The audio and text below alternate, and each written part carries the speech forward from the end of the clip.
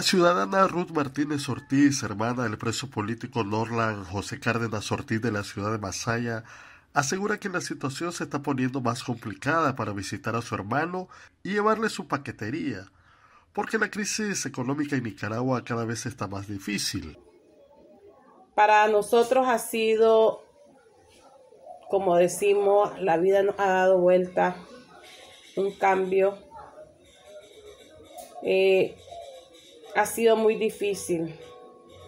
Él era el sustento de su hogar porque él es casado, tiene un niño de nueve años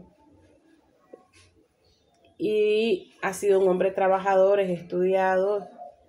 Ahora para nosotros cada día se hace difícil. Le entrega de su paquetería, llevarle sus cosas, ir a las visitas. A como está ahorita, la situación económica pues para nosotros es sumamente difícil. Cada día se hace más poquito y a veces pues uno lo que logra conseguir es todo para él porque pues ellos son los que necesitan.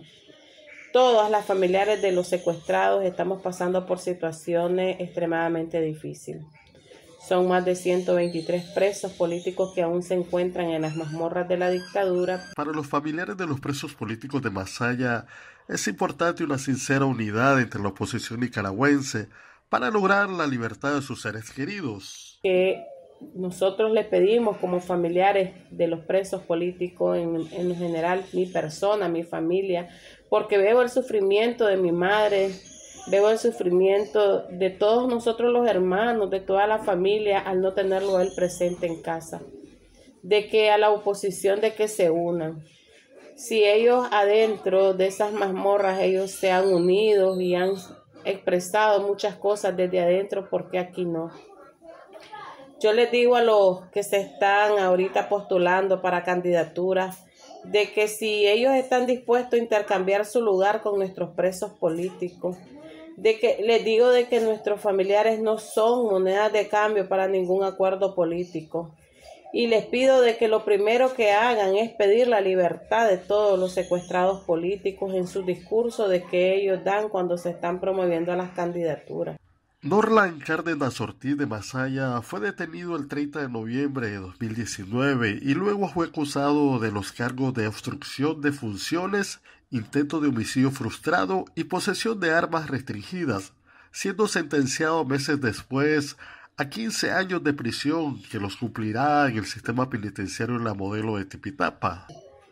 Donde sabemos de que ahí en los sistemas no hay medidas adecuadas para que estén ellos. El agua es súper pesada, es caliente. Uno se lava las manos y uno la siente caliente el agua. Todo lo que la comida pues mal preparadas prácticamente. Entonces nosotros pedimos de que, que ellos se pongan a mano a la conciencia, todos ellos, y vean el dolor y el sentir de cada uno de nosotros, los familiares de presos políticos. Nos hacen firmar una carta donde no debemos de decir calumnias ni falsedades, donde dicen de que nosotros hallamos a nuestros familiares tanto física como psicológicamente bien. Este fue un reporte desde la ciudad de Masaya, en Nicaragua. Noela Milcar, Gallegos.